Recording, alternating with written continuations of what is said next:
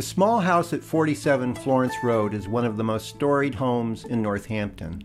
This building had once been the oil mill house of Benjamin Barrett in the 1830s, providing housing and a workplace for laborers near the linseed oil mill of Josiah White on the Mill River. Rented by the Northampton Association of Education and Industry, it was once a boarding house for its teachers. In 1846, David Ruggles purchased the house, which became his home and the first building of his Northampton water cure. David Ruggles was one of the most daring agents of the Underground Railroad in New York City in the 1830s. In 1835, he became the founding secretary of the New York Committee of Vigilance, and in that capacity aided over 600 self emancipated former slaves to freedom, including Frederick Douglass.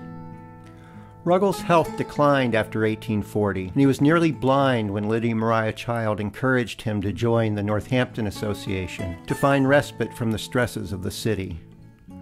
Moving to the community in 1842, he nursed himself back to health using the techniques of the water cure or hydropathy. When he had recovered enough, he organized a rally of black citizens in downtown Northampton in 1844. Sojourner Truth gave her first known public anti slavery speech at that rally.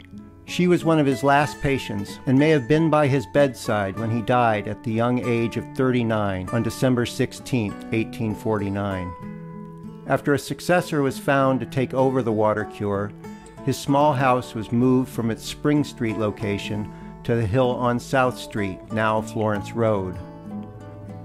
In 1856, the African American Hannah Randall, an operative at the water cure, purchased the house and lived here until her death in 1883.